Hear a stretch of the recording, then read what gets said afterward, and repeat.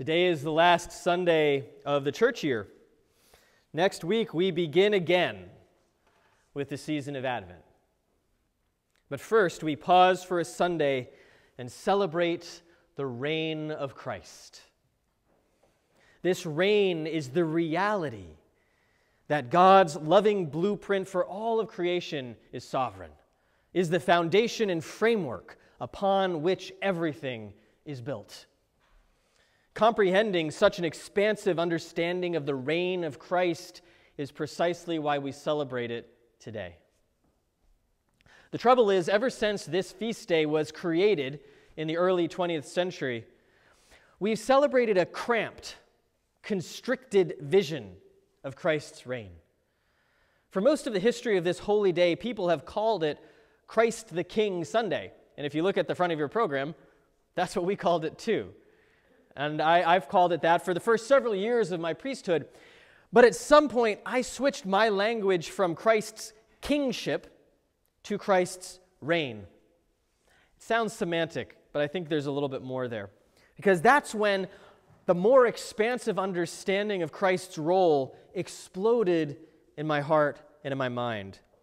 And I'd like to take you through that switch this morning. The problem is the word king. And not just because king is a gendered word, but because our understanding of king is far too small to comprehend the Christ.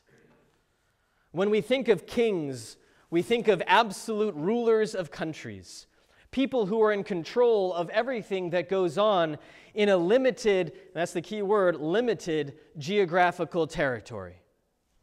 Or else we think of figureheads whose countries have a history of absolutism, but now the monarchy is nothing more than a symbol of national pride and unity. The figurehead monarch can use the bully pulpit to influence public opinion, but they have no tangible authority. Neither of these understandings of kingship will do when we use the image of king to describe Christ. And we can see this problem clearly in Pontius Pilate's first question to Jesus in this morning's gospel lesson. They're alone in Pilate's headquarters. Pilate is trying to get the measure of this apparent troublemaker whom his own people have handed over. So Pilate asks, Are you the king of the Jews? And this question is loaded with implication. On the surface, Pilate is trying to figure out if a secret local rebellion is getting ready to explode in his face. Kick out the occupying forces of which he, Pilate, is in charge and install a new king. The Romans allowed petty local rulers to claim kingship but they were nothing more than political pawns of the Roman machine. That's what King Herod was. But what about this Jesus? Not even a week ago, Jesus had ridden into the city while people proclaimed him the king and the son of David. Surely Pilate knew David was a local historical hero, the gold standard of Israel's ancient kings. Was this Jesus standing calmly in front of Pilate? Really a king ready to supplant the entire Roman apparatus? Pilate is appropriately skeptical. After all, I doubt his informants had come to him with any information about a budding rebellion. But the question are you the king of the Jews? Like so much in John's gospel, has a deeper meaning when we dig into it. In the early days of the monarchy in Israel, God wondered why Israel wanted or needed a king. They were special among all the surrounding countries precisely because they did not have a king. They had the God of their ancestors. God was their ruler, God was their sovereign. Why need a king when you have God? God warned the Israelites all a king will do is tax you and conscript you and eventually end up owning the whole country. But the people were stubborn. We want to be like everyone else. Give us a king. And so God relented with a proverbial be careful what you wish for. The first king was Saul, but he didn't work out. So the prophet Samuel anointed David, a shepherd from Bethlehem who distinguished himself in battle. David was seen as the pinnacle of kingship in Israel, despite a whole lot of problematic behavior. Suffice to say, kingship in ancient Israel is a topic with a lot of baggage. And so we hear Pilate's question a little differently Are you the king of the Jews? The answer is no, in both senses. Jesus is not fomenting a violent rebellion, and he certainly is not a problematic stand in for God. So Jesus does not fit the expectations of Pilate or of the people who handed him over to Pilate. Jesus does not fit the cramped model of a king we think of from, say, feudal Europe in the case of the absolute ruler or modern Europe in the case of the figurehead. And what about us? We who don't have a king but still live in a sovereign nation. Our democracy, our laws, are cramped and constricted too. As we've seen throughout our history and in the modern day, our laws do not always reflect the needs of justice.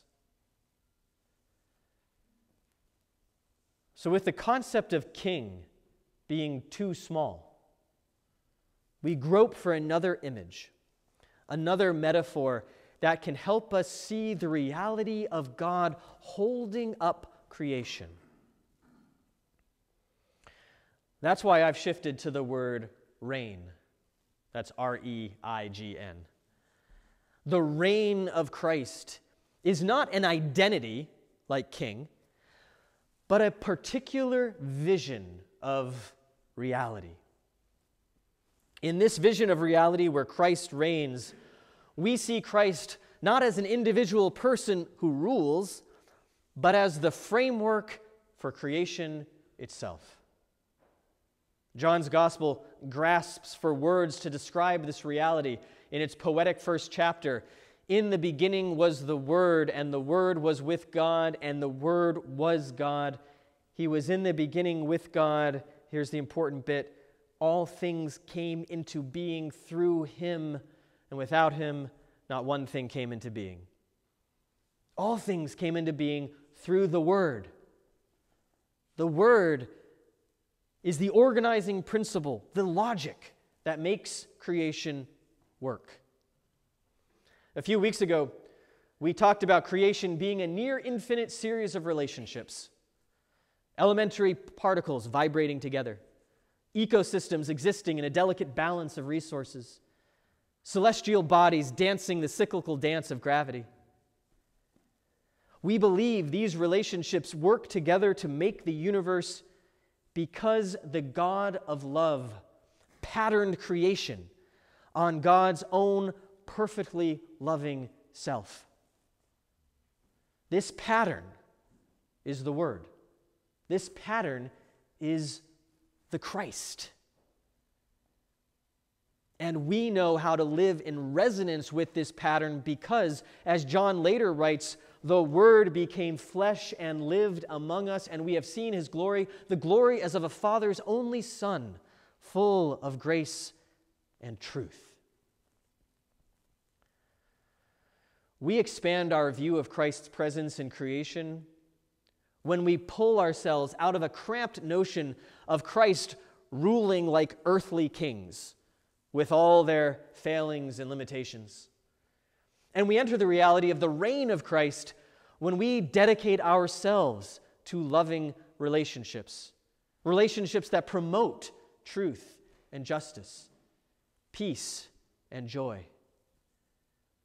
The reign of Christ is so much bigger than we can possibly imagine, since it comprehends literally all of time and space, even beyond time and space. At the same time, the reign of Christ happens right here within each of us. As God aligns our hearts and minds, our souls and strength to love God and love one another. For such love is the reflection of God's blueprint for creation. Amen.